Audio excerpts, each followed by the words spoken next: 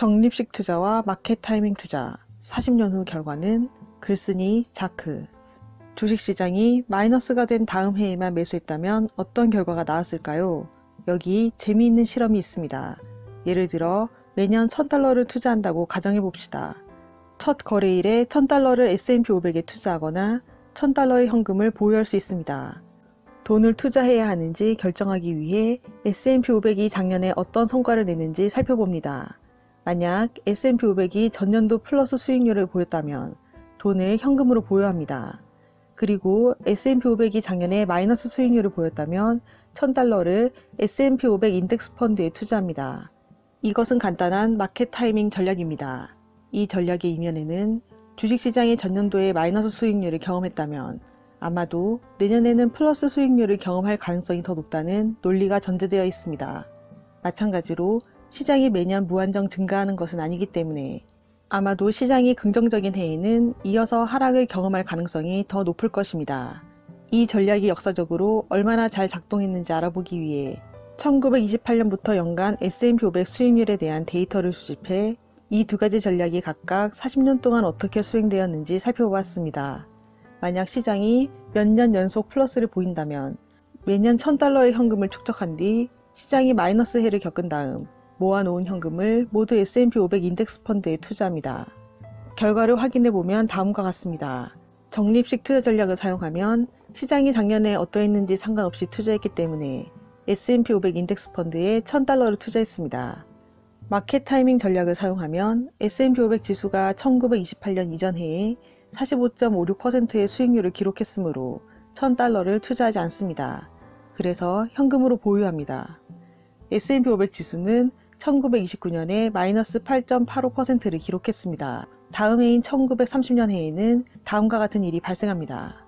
적립식 투자 전략을 사용하면 시장이 작년에 어떻게 운영되었든지 상관없이 매년 1000달러를 투자하기 때문에 여전히 S&P 500 인덱스 펀드에 1000달러를 투자합니다.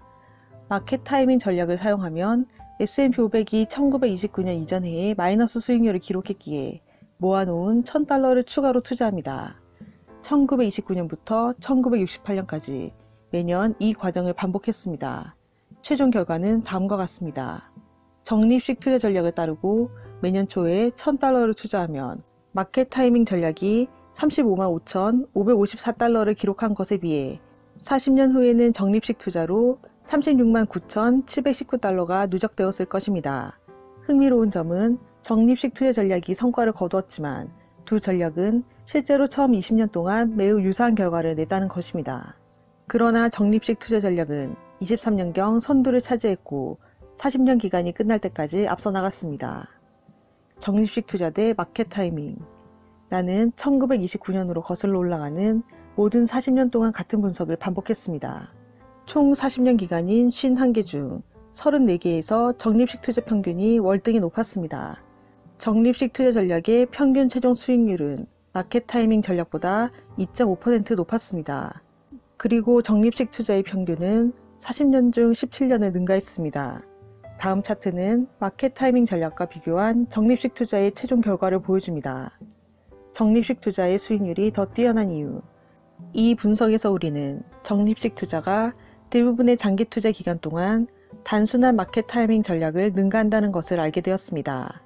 이 같은 성과에 대한 주요 설명은 주식시장이 부정적인 해보다 긍정적인 해를 더 많이 경험했다는 사실입니다. 이는 주식시장이 현금에 비해 특정 연도에 더 높은 수익을 제공할 가능성이 크기 때문에 현금으로 보유하고 시장에서 벗어나 있으면 실적이 저조할 가능성이 높음을 의미합니다. 긍정적인 한 해를 보낸 후에 가만히 있는 것이 이론적으로는 좋은 생각처럼 보이지만 주식시장은 몇 년에 걸쳐 천천히 상승하며 10년 정도마다 가끔 경기 침체가 발생한다는 점도 단순한 사실입니다. 이것은 또한 시장이 몇 년 연속으로 긍정적인 흐름으로 이어지는 경향이 있음을 의미합니다. 즉, 부정적인 해를 기다리는 투자자는 종종 예상보다 더 오래 기다리게 됩니다. 대부분의 투자자는 간단한 적립식 투자 전략을 따름으로써 복잡한 마켓 타이밍 전략을 능가할 수 있습니다. 전년도의 시장 실적이 어떻든 매년 꾸준히 투자하세요. 시장의 타이밍을 맞추려고 시도했을 때보다 수십 년 후에 더 많은 돈을 갖게 될 가능성이 커집니다. 더 자세한 내용은 더보기란에 있는 링크 주소를 참고해 주시길 바랍니다. 구독과 좋아요로 부연 책방으로 입장하세요. 감사합니다.